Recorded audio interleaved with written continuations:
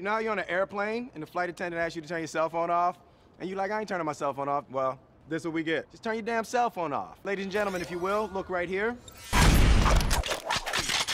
Black suit goes on, throw the shades on. It's just cool. Men in black, baby. Jay starts to feel, I might need more out of the relationships in my life. There are things out there you don't need to know. Agent Jay, he would like for Kay to be nicer. I am getting too old for this. Tension builds up.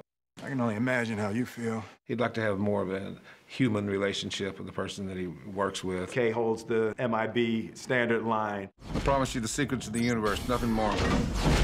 Well, what other secrets are there? Agent J comes into work and there's no Agent K. K! K! I'm looking for K. Have you seen him? He smiles like this. Kay has been dead for over 40 years. He does travel back in time. To save his partner. Take this. Now all you have to do is jump. I'm not jumping off of this building!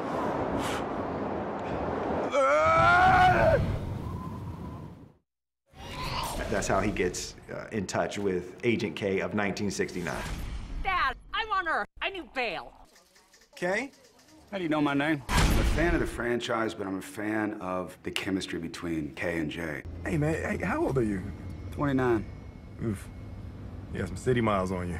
Josh studied Tommy so well, it was almost the identical chemistry, which is fantastic. Josh Brolin and Will Smith is as comfortable a relationship as Will has with Tommy.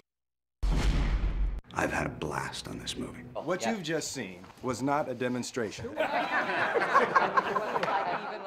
Happy to be on his team and recreate that quintessential Men in Black sense of humor. Can we have a minute? Damn it, Kay! Are you trying to blow my cover? Whoa, Andy Warhol's one of us? Who's the dumbass? Whoa! You know, I don't have no problem pimp slapping the shiznit out of Andy Warhol. What?